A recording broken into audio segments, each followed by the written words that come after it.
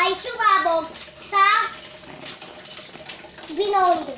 Ay sa Pico.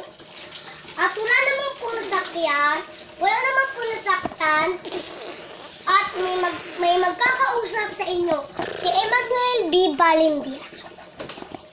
Ano masasabi nyo? Nasabugan po ba kayo sa Bulkan Mayon? Opo. Oo, marami na po.